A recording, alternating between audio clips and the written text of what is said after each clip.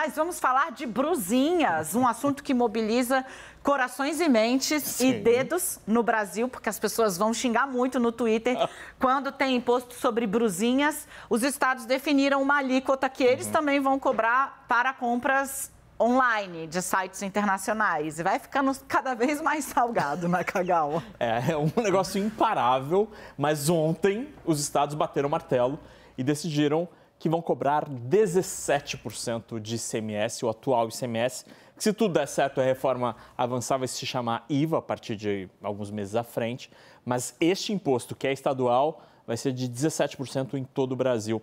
Atualmente, já há perspectiva ou há possibilidade de cobrança desse tributo nas compras internacionais, mas o fato é que pouquíssimos estados, pouquíssimas compras acabam sendo é, taxadas por isso, porque não há como os estados controlarem, não há como a fazenda dos estados controlarem essas compras e aí acaba passando é, e não há nenhum tipo de cobrança. A gente separou duas telas aqui para explicar como é hoje. Então, hoje, o que vale até agora, o imposto de importação, que basicamente ninguém paga nas compras internacionais, nas compras da China, de 60%, este imposto de importação é federal.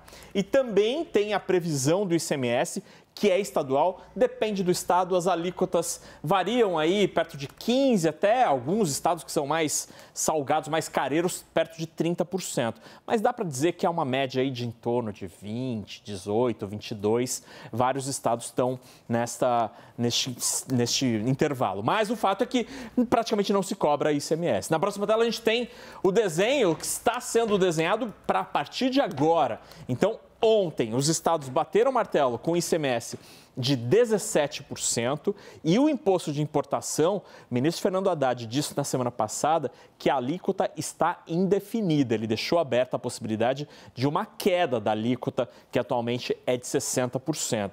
Se, se eu tivesse 10 reais aqui para fazer uma aposta, eu diria que é possível que a gente tenha uma combinação de ICMS mais imposto de importação na nova alíquota cujo número final será, seria menor que 60%. Porque aí, em termos de comunicação, o governo federal teria uma boa notícia do tipo reduzimos o imposto. Naca, botaram as brusinhas aí do seu lado. Ah, nossa, quantas brusinhas. é, tem, olha, tem a, é Larissa Coelho que é colocou... É o armário do Nakagawa. Putz, é o armário da Mônica, porque são todas as roupas iguais aqui, eu acho. Mas aí, aí é isso.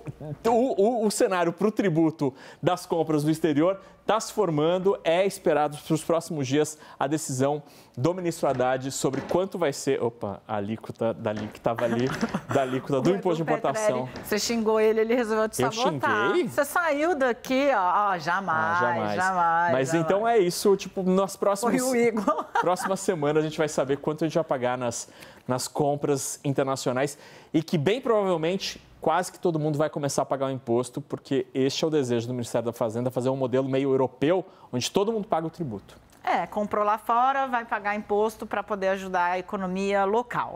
é o raciocínio. A vida é assim. Trabalhe aqui do meu lado, por favor, sério. Tá hoje é então sexta-feira, eu, tô. Vou Muito obrigada, Naquinha. Valeu. Um beijo, bom fim de semana. Valeu.